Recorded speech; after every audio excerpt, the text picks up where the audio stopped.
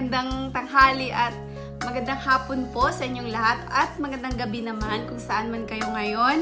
So yun mga langga, titikman ko yung broccoli pure smoothie kong mga langga. Bigyan ko siya ng feedback para sa inyo kung ano yung lasa niya. Yan. Mmm! Ang sarap niya mga langga. Hindi siya matamis at hindi rin siya mapait. Ang sarap niya mga langga, subukan nyo to. Napaka-healthy sa ating katawan. At napakasarap. Ayan, subukan nyo to mga langga ha. Para malaman nyo rin kung ano yung lasa. At syempre kung may smoothie tayo, kailangan meron din tayong exercise. Kahit uh, dalawang beses lang sa isang linggo, pwede na rin yun.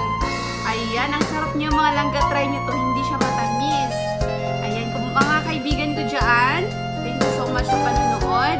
At kung bago ka pa lang sa aking channel, please subscribe. At pwede mo rin tong i-share sa mga kaibigan mo.